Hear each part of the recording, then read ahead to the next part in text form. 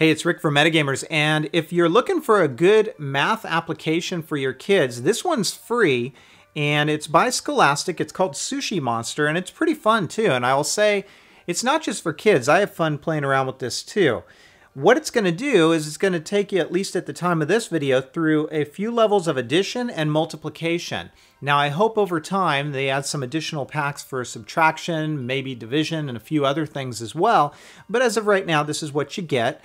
It's going to give you a number of problems that you need to solve correctly and as quickly as you can. And as you do that, it's going to rank you and it will allow you through a star system to progress to the next level here. And as you reach certain milestones, what it'll do is it'll give you trophies up above the top that you can track to. So let's go ahead and open up level one of addition. And you're going to see what this looks like. So a monster is going to pop up there. You've got your target numbers here, so you can kind of see what's coming up.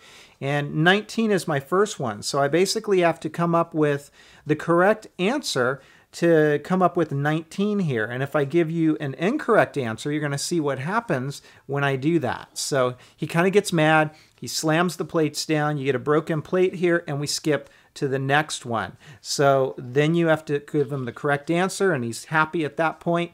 It progresses us to the next level. Target number 19 and 4, you can see he's kind of wearing that target number. You can skip that number if you say, I want to come back to that. Just hit skip, and it goes directly to 4 and then you can select those numbers. It comes back to 19 and he's going to eat those up and then we're going to progress to the next level. You can see your timer right here in the corner. to let you know how much time you're taking. And as you progress through this, again, it's tracking your progress and it's going to let you know how you did at the end of this. So I think this might actually be the last level before we go uh, to the next step and you'll see what that looks like here.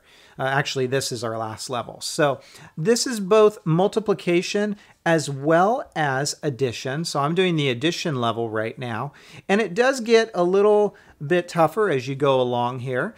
Um, and you can see again, if I miss one, he gets mad. So next number is 20 and we're going to add that in here. And then our next number is 10. So it's kind of a fun little game. I know my kids are just now getting into math and they certainly enjoy it.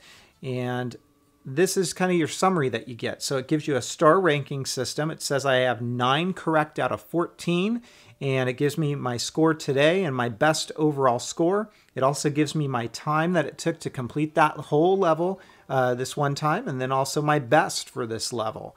And as you go through this, if you meet certain accomplishments, you'll get to the next level, eventually completing it and earning a trophy. Multiplication is pretty much the same thing, except for different monsters and its multiplication. So it's called Sushi Monster.